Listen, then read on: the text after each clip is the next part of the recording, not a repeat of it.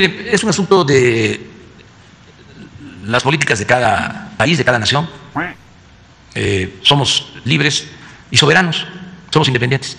Entonces, nosotros no nos inmiscuimos en los asuntos de Estados Unidos, de América.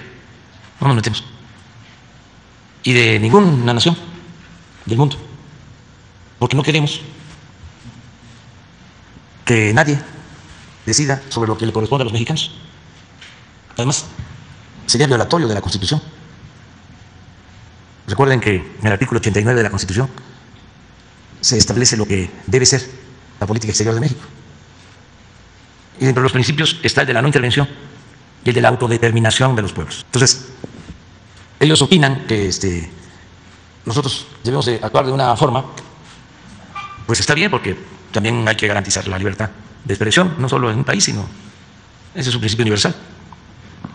Pero este, debemos respetar.